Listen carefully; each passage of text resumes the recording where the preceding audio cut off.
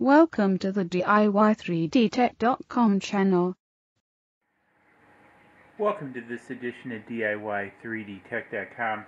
In this episode, we're going to open up the Wanhao Electronics and we're going to make the uh, mod to the uh, for the uh, uh extruded fluctuation problem, hopefully. So, um, I haven't really found anything on the internet as to how to open the um, Wanhao case. So I'm just going to give it a shot. So it appears there's some small Torx on the bottom. There's some larger Allens, and, and that appears to mount something, probably the power supply. So I'm going to remove the recessed Torx. Um, there seems to be, what, five, seven of them? Uh, three, five, seven, yep, so seven of them. I'm not sure what size torque this is. It's a smaller one. Um, I just pulled it out of my tool bin and it fits. So uh, they're in here rather snug. So uh, not too snug, but you have to use a little bit of force to, to get them out. Uh, you know, I'm going to kind of record this and I'm going to kind of split it up and speed it up. So uh, you won't have to watch the whole thing. But one of the things I did want to show is especially uh, opening the, the case because I've I looked last night on the internet for quite a bit and I could not find how to open this case. And so this seems to do something.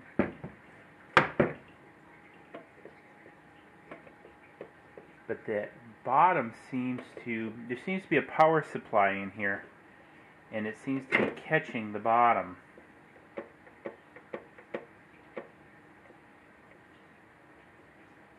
Um, I don't see, because this seems to be pressed all the way around. Um, I'm going to remove these just in case they catch on anything. I don't think they structurally hold anything other than supposed to be the spool, but I'm going to take them out anyway. Um, because again, it looks like some bracket back here.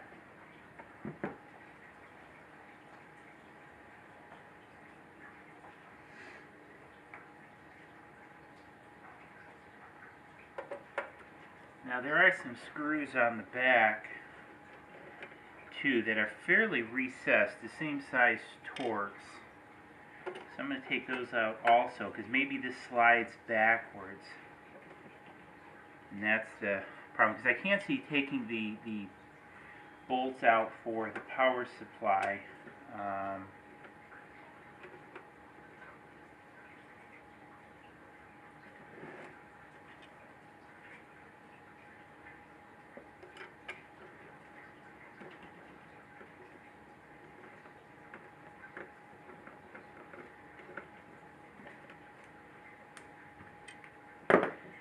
So his back comes off, and yes, as I anticipated, um, that power supply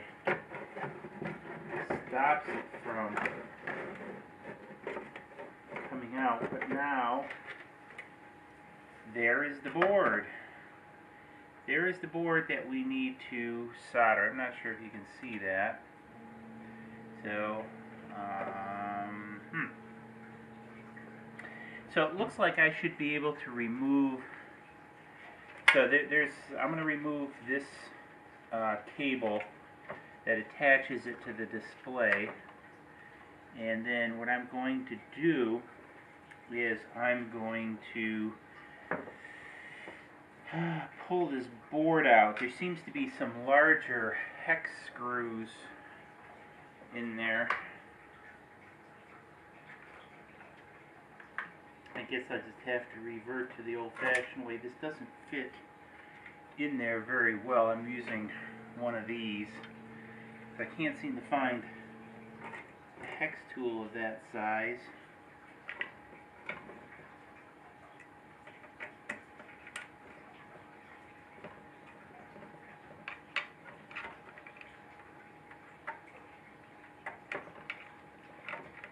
Problem is I'm not going to be able to get up against the uh,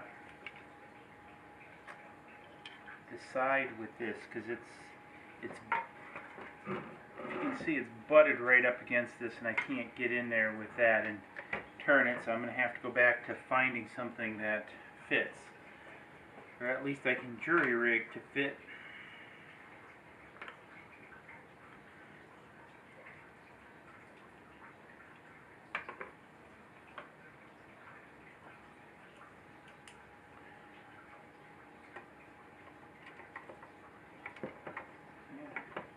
This seems to work.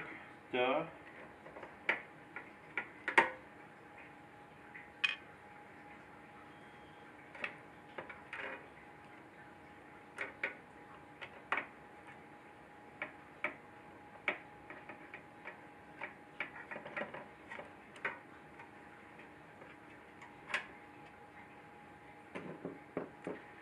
Okay.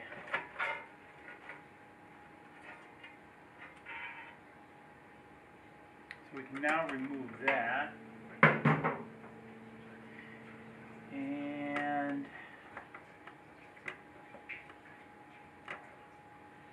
set the piece over there.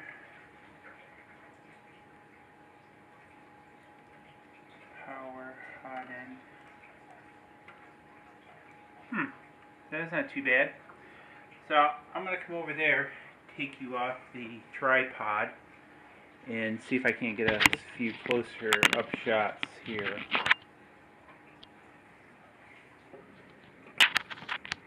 Long story short, let's see if we can get there. I'm not sure if you can see this. So here is the hot end right here. So as we're looking at it from this angle, this is the hot end, and according to the video, this is the leg of the MOSFET that we need to uh, solder.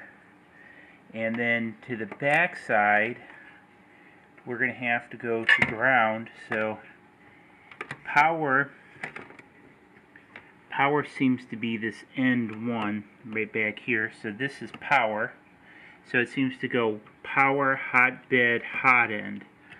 So we got to take the ground from this and then connect it to that so um, I'm going to solder this. I, am not going to video this part because I need both hands and be a little bit more articulate and everything. So, but uh, I'm going to solder this, and then once I do that, I'll come back and I'll show um, how I made the connections.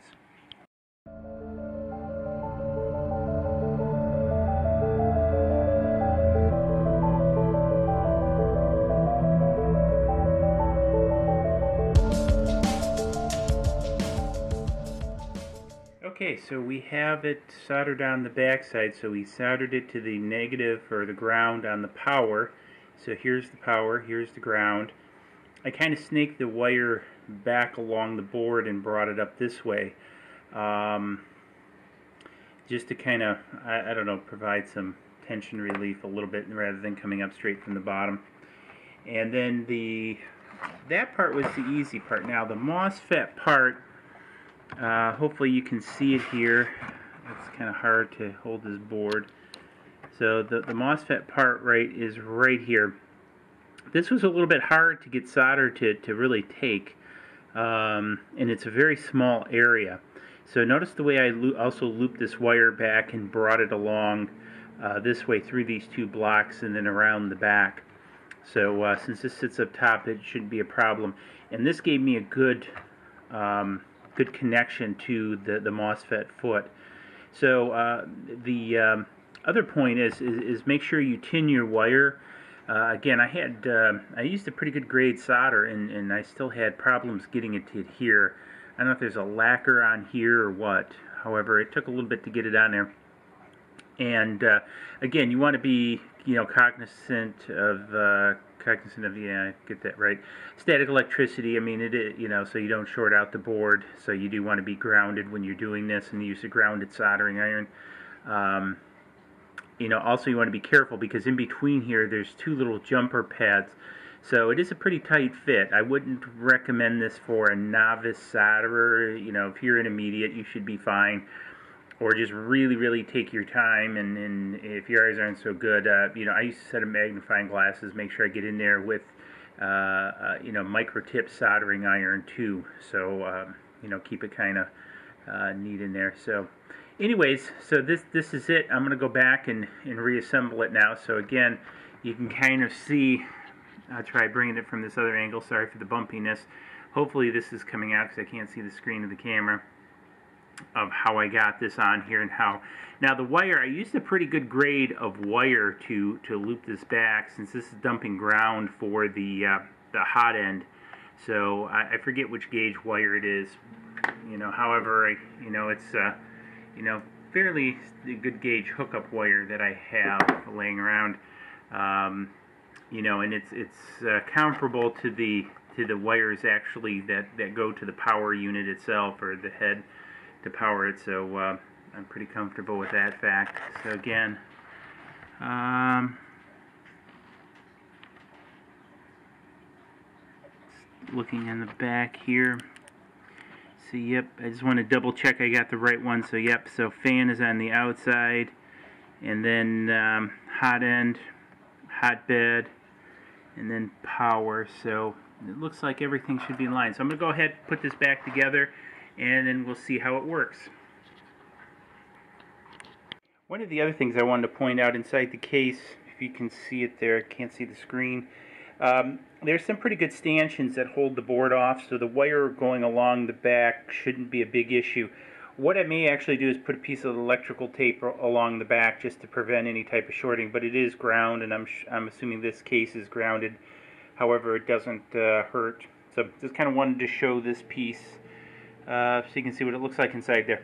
Alright, let's go put it back together. So again, real quick, just wanted to show this. So I put a piece, I cut a piece of electrical tape and I put it over this uh, for a couple different reasons. Number one, I'm pretty flush with the existing solder that was on here. Um, I think as you saw in the last piece of video.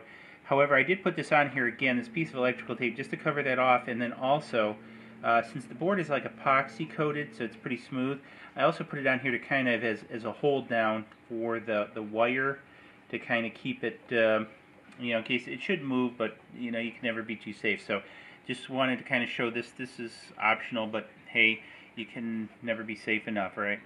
All right, let's go back and again try to put it together. So we uh, got to put all back together, and um, or at least this part, and I got the cables back in. Uh, make sure you keep track of which way this cable goes. Obviously, it presses up against there, and it's notched here, so no biggie. Because uh, you do have to remove this, as you saw, and I did. it did just actually popped off the end when I was working on it. So uh, everything went back in pretty good. Uh, one of the things I did, and I do not recommend this, do this at your own risk, is I did power it up and tested before I buttoned up the case. It's sort of my typical thing, but be very careful. There's line power here, and uh, this is a bad thing. So don't do this unless you know what you're doing. Um, but anyway, so everything does check out. So I'm going to go and put the case, uh, button the case back up. Okay, so we got everything back together. Um, boots up. This is good.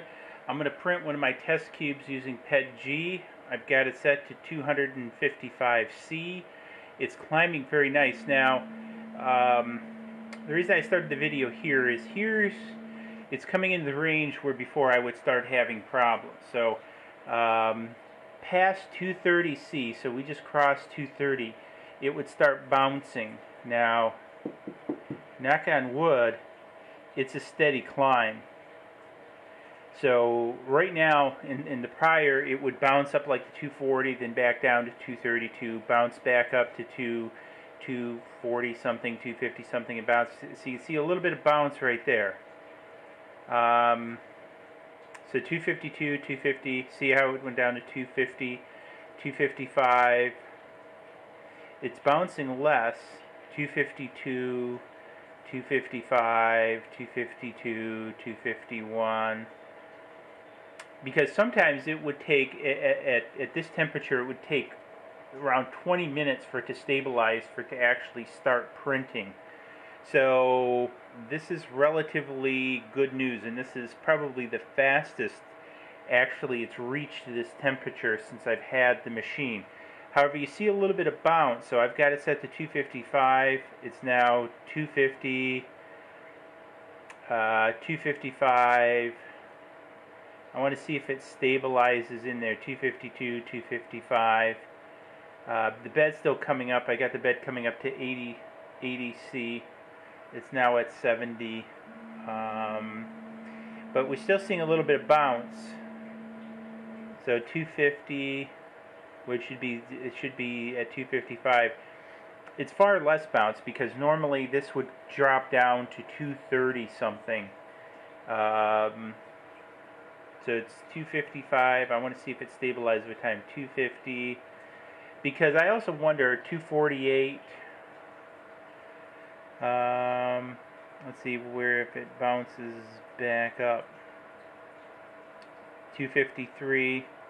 It's still bouncing a little bit. It's not not nearly as bad as it was before. However, it's um, I'm interested to see how this because we're almost at 70 we had 76C on the bed so it should start here in a minute so 250 255 so the bed definitely heated up faster um, which is interesting, and the bouncing is not as bad. I used to get a 20 degree bounce over 230. Under 230, I really didn't have a problem, so I'm just wondering if the ground trace simply can't deliver the current or was attenuating the current. Alright, so the printer's now starting. Um, interesting, it set itself back down to 250. I want 255. So let's go back to 255 and see what happens.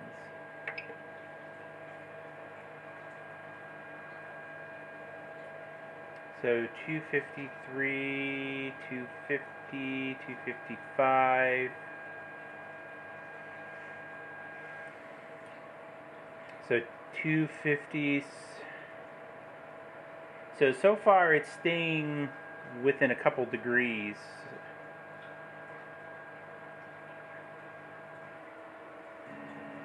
So let's see as it goes through. So pretty much right now, after the bed's re reached temperature and everything else, and, and it's reset itself, it's staying above 250, which is good. Because one thing I found with the the Wanhao is um, above 250 it gets it just gets kind of wanky um, however no th- th- this is a lot better because it's staying fairly close to the 255 the temperature because before I did this mod it would bounce down to two in, in the 230 so it's pretty much staying between 250 and 255 uh, as you can see it and I do wonder if a little bit of this isn't the firmware too um, one of the things I'm going to do is check on a firmware upgrade. I was looking at the site last night, and so it's printing it out. I don't because one of the things I do is I want to see the quality because you'll notice in the last video I printed out some PETG for the Octoprint base, I, and I'm just not happy with how, especially on larger scale prints, it's been doing the PETG because uh, you know, and that's what got me looking at this in the first place is I'm not getting good adhesion between the layers, and I do think as a temperature it did do uh, 1 249 cc. I don't know if you can see there's a 249 250, but for the most part. However, one of the things that I, I can't believe that the head is actually fluctuating that much. Uh, you know, in other words, it's it's losing and gaining a, a degree or multiple degrees within that time. Uh, so I think I, am thinking when I do the head, the, the hot end change uh, with the all metal uh, Swiss hot end uh, that's coming, I may try changing the thermistor and see if that, that does it. So you see I'm now getting some 249s uh, versus the where it should be at 255, but now it's jumping up to 252. Um, I've got this. I'm going to try and see if I can't get a reading off the head.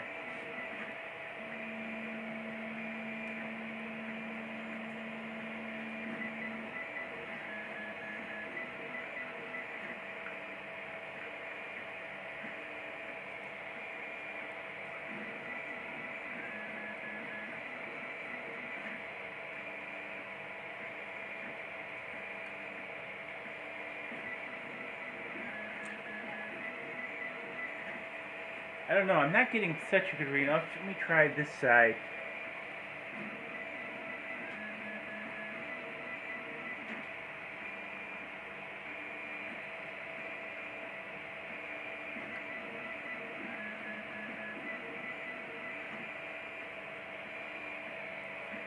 I don't know. This is saying 42.6C. I was getting 139 on the other side. Uh, however, if I do the base, if I do the bed,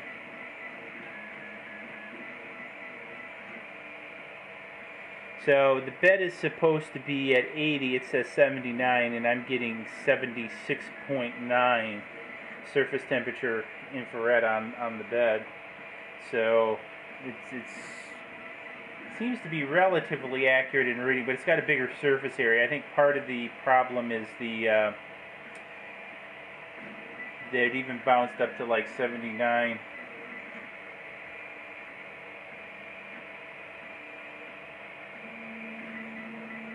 So still 76, 77.6, sorry.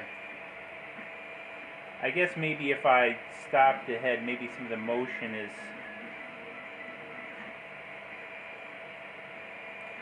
I wonder if it's the Kapton tape because again 89.9 However, the bounce, I got to say, is, is far less, but it still does bounce. However, again, I was getting a 20 degree bounce before. I'm probably within maybe 5 to 8 degree bounce here, so this, this is a lot better. And, and to be honest, I don't know how much I trust this display either versus the actual because, again, I, I have a hard time believing that the thermal mass of that head is going to change from 255 to 249, then back to 255 in a matter of a second or two. Um,